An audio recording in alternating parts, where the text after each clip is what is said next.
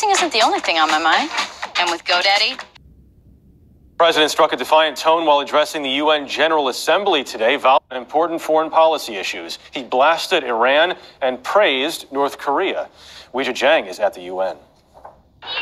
At times, President Trump's promise of America first sounded more like America alone during his speech at the United Nations. We reject the ideology of globalism and we embrace the doctrine of patriotism. The president reserved his most stern rhetoric for Iran, scolding the regime as he forcefully stood by his decision to pull out of the Iran nuclear deal. Iran's leaders plunder the nation's resources to enrich themselves and to spread mayhem. Mr. Trump commended North Korea for its willingness to negotiate a deal to denuclearize. I would like to thank Chairman Kim for his courage and for the steps he has taken, though much work remains to be done.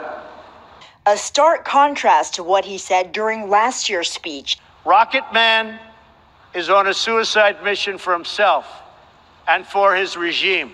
During the liveliest part of President Trump's speech today, he drew ridicule when he boasted about what he's done for the U.S. My administration has accomplished more than almost any administration in the history of our country. America's so true. Didn't expect that reaction, but that's okay. President Trump says he thinks his speech went great and that it was meant to prompt some laughter. He also got a few smirks from the German delegation after he criticized Berlin for buying oil from Russia. Jeff, it was the only time during the speech the president mentioned Russia by name. Okay, we just. All right, Shalom, Kala Yahweh Bashim Yahushai Bashim Rakakadash, the honors to the elder apostles of Great Millstone. Peace and blessings to all you brothers teaching in truth and sincerity throughout the four corners of the globe. Underneath the banner and the standards of Yahweh Hashem Yahweh Shai. And I'm just going to get right into it, man. You've seen the video. You know, these are the uh, the signs of this wicked kingdom going down, man. Okay. and rightfully so, man how you gonna sit up there and blame uh, other nations saying that they commit atrocities and what they're doing wrong in their countries when you're the main catalyst for all woes on the planet, man. Okay, when I say that, I'm saying the so-called uh, white man, which is the so-called Edomite, uh, the so-called white man, which is Edom. Let's put it like that. And I'm going to say that because I'm at the plantation. I'm going to say Edom and Esau to uh, correlate with the so-called white man who is not white. They are red men. Okay. And uh, yeah, at times at an end, whether they like it or not. Okay. And it's shown through, uh, you just seen it. Okay so we're gonna get uh, right into it. And I got a couple of scripts. First one I'm gonna get is Psalms, uh, not Psalms. So I can let me just go ahead and get it.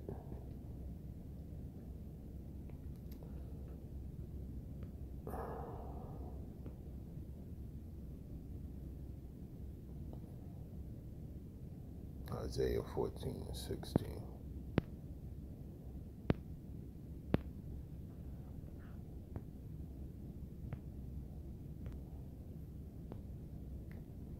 Isaiah 14 and 16 It says, I will ascend above the heights of the clouds, I will be like the Most High.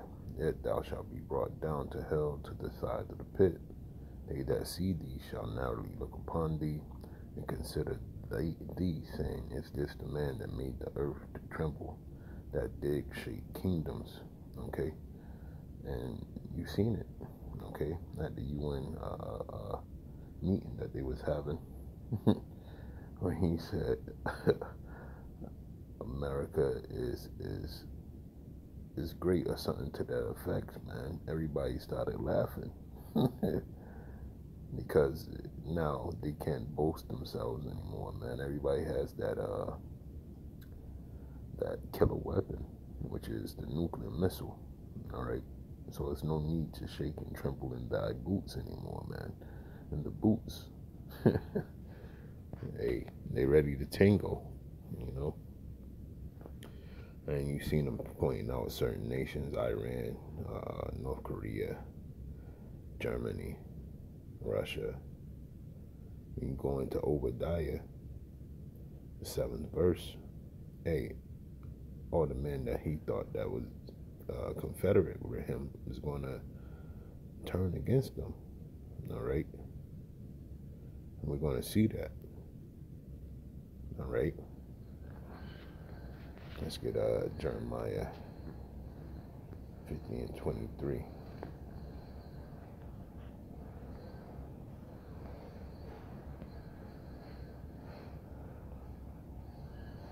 says,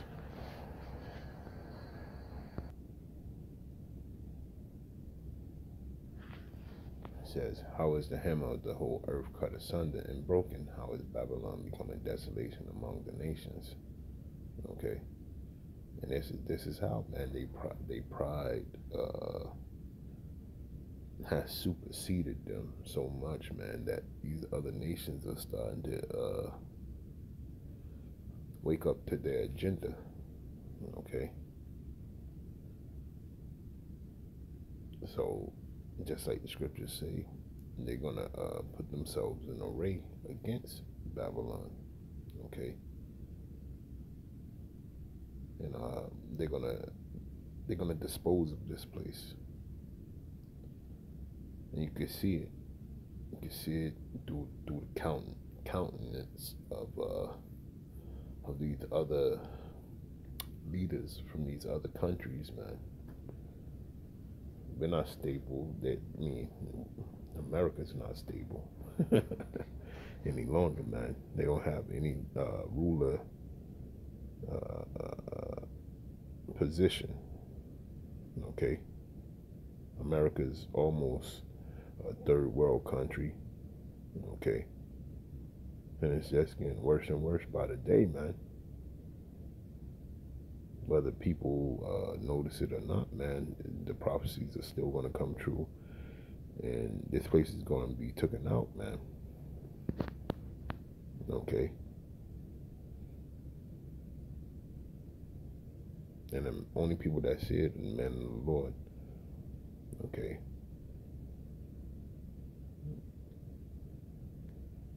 time is uh is winding down for Babylon the Great.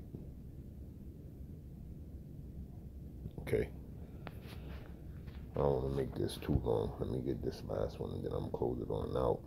But uh yeah, the if you watch the video, man, it signifies the end, the end of uh, America.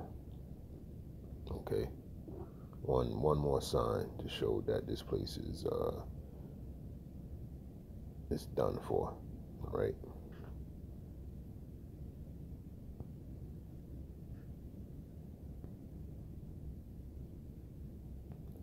This is uh, Ecclesiasticus 25 and 6.